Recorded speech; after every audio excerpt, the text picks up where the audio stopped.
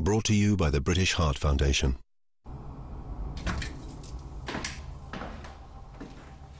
Hello. So, you're here to find out what it's like to have a, a heart attack. Well, we don't have much time because with heart attacks you never do. Well, let's start with the first symptom most people think of. Yes, chest pains. Well, we've all heard of the classic chest pains, but it may not always be that severe.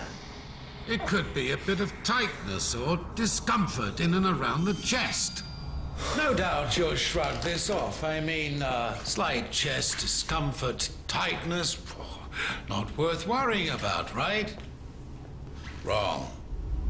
What if it spreads to your arms? Still not convinced you're having a heart attack? Or what if you feel dizzy, lightheaded?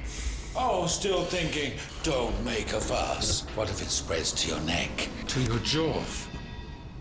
You're probably thinking, tough it out, it will pass. What if it doesn't? The longer you leave it, the more your heart dies. Don't kid yourself.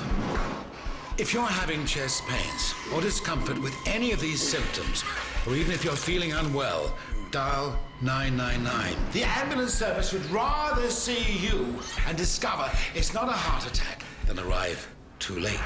Every second counts. I know you think you'd feel embarrassed if it's not actually a heart attack, but imagine how you'll feel if it is, and you left it too late.